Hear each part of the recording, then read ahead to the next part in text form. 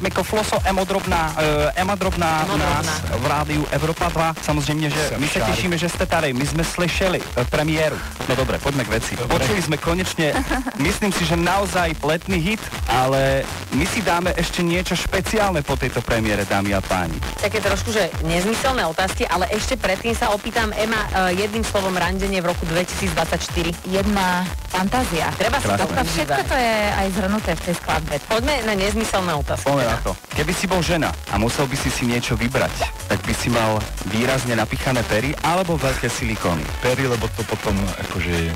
Odíde. Áno, presne. Ema, čo ty dám polo nezmyselné? Ja dám úplne nezmyselné. Chlpatý chrbát alebo prsia až po kolena. Uh, ja by som povedala, že prsia až pod kolena. A vedela by si si ich zaviazať a tým pádom by boli Dajú sa zaviazať. Dobre. Akože chlpatý chrbát sa tiež tak inak vyriešiť laserom. Ja by som obidve chcela. Ja by som chcela mať aj chlpatý chrbát, aj prsia pod To kolena. bolo tak sexy a tak by som si ťa chcela predstaviť ísť na nejaké rande. Ja ani nie. Poďme na druhú nezmyselnú otázku. Floso, Nevadilo to. keby si sa mal opäť narodiť ako slovenský reper, tak radšej ako Separ alebo Kali? Minúta ticha.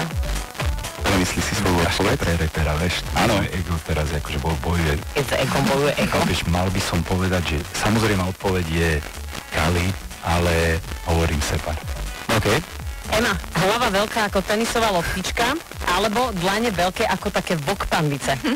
Ja zase chcem obo, oboje, akože predstav si to. Predstav si to.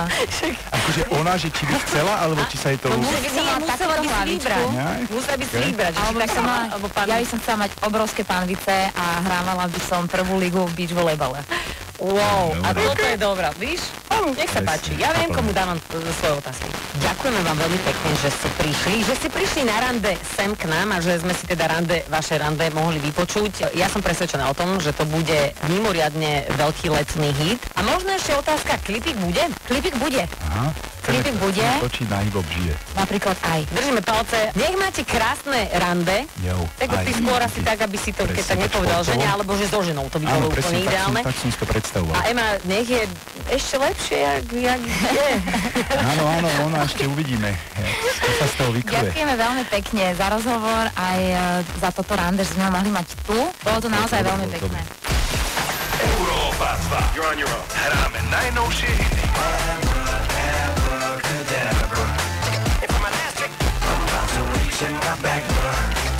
Maximum novej hudby. hliníkových zimných záhrad a pergol s dopravou a montážou po celom Slovensku. www.hopvpitece.sk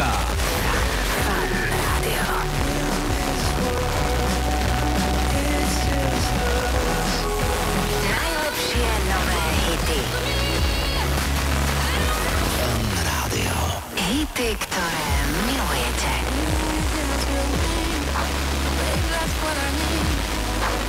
Flavia bol ateista. Podobne ako mnohí spisovatelia, ktorí vzýšli z novinárskeho prostredia, písal fakticky, presne a chladne.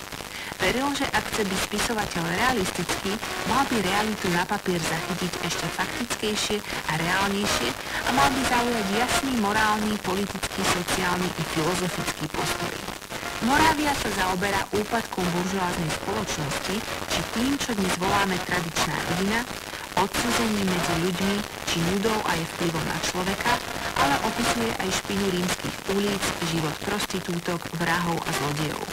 Jeho najslavnejšími románmi sú Rímanka z roku 1900